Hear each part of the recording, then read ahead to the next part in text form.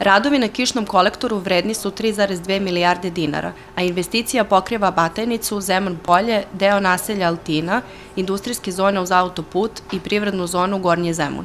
Na ovaj način rešavamo problem svima koji žive u ovom delu Zemuna, kaže Vesić, i dodaje da je izgrađeno 3,5 km kolektora, od čega je 2,7 ispod zemlje.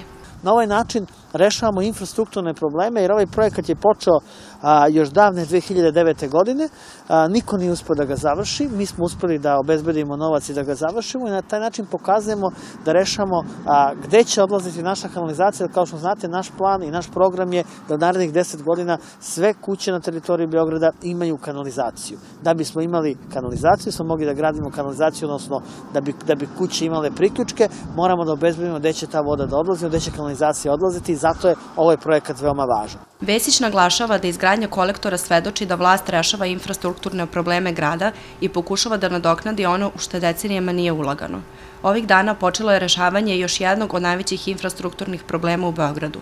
Raspisan je tender za fabriku za preradu otpadnih voda u Mladenovcu, kaže direktor Direkcije za građevinsko zemljište i izgradnju Beograda Branislav Popović. Da imamo već dve manje fabrike za preradu otpadnih voda, odnosno postrojenja ugovoreno u Belom potoku i Pinosavi i da imamo nameru da tokom ove budžetske godine, jer nam je odobreno oko 9,3 milijardi dinara za sve projekte, investiramo značajno i u saobraćajnu, i putnu, i vodovodnu, i kanalizacijonu mrežu.